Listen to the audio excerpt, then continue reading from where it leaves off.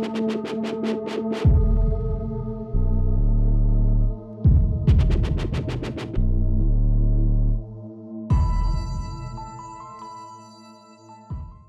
is Brien Foerster, and in February of 2019, my wife Irene and I and a group of friends explored ancient Mexico, including enigmatic and mysterious locations such as here at Teotihuacan, close to Mexico City. We also explored Tula, where the so-called Atlantean stone figures are located. Were these depictions of ancient aliens or astronauts? Or is there a much more pragmatic and realistic explanation for who made them and why and what they depict? We also visited Cholula, which is the largest pyramidal structure on the planet. This is only a tiny section of that massive complex. And also Monte Alban, a Zapotec site, massive in scale, not really complex in terms of its construction, but the reason why we visited it was to compare the difference between what the Zapotecs or Aztecs or Mixtec people could have made and other much more anomalous structures, such as what you're going to be seeing next.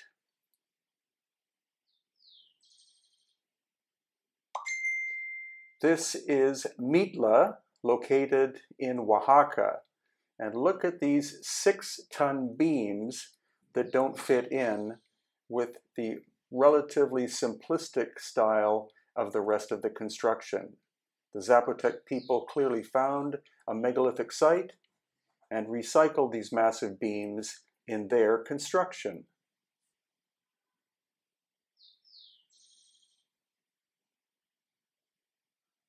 And as well, the mystery of the Olmec civilization. They created these giant stone basalt heads, some weighing 10 to 20 tons, but they had no metal tools, so how did they make them? And here at magnificent and majestic Palenque, one of the most beautiful ancient locations in all of the Americas.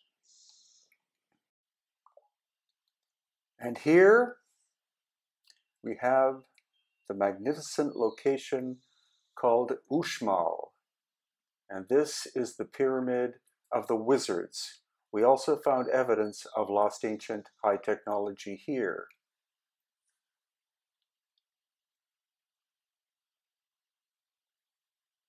And of course, the small, quaint, but beautiful location known as Tulum on the Atlantic side of Mexico in the Caribbean Sea.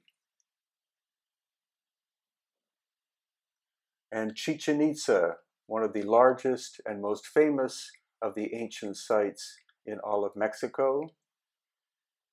This is the Celestial Observatory, and fortunate for me, I was basically there by myself, while other parts of the location had more than 10,000 visitors.